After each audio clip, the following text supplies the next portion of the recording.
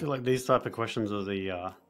the exact source of uh, embarrassing content five years from now when we're looking back at this and like, oh, that was what we were thinking was going to be the thing. And I guess uh, probably even like dating myself as well is like, I, I, think that the answer to what five years from now is probably less uh,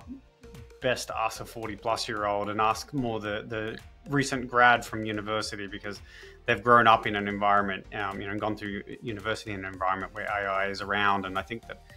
I, I kind of hope, I guess, that they come up with something to use AI and that is completely left of field and something I couldn't have imagined in five years' time. But um, I think that, yeah, the obvious things for me would be just, yeah, AI providing way more context and clarity in those sort of, you know, investigations or process driven, um, you know, uh, trying to understand what's happening in cloud or in, in, a, in a service, trying to optimize the full stack from not just you know the cloud layer itself, but going into the operating system and then down into the application and looking at it as a holistic um, solution versus three discrete areas that need to be optimized. But uh, yeah, I, I, I think that I'm going to do a bad job at guessing what it looks like.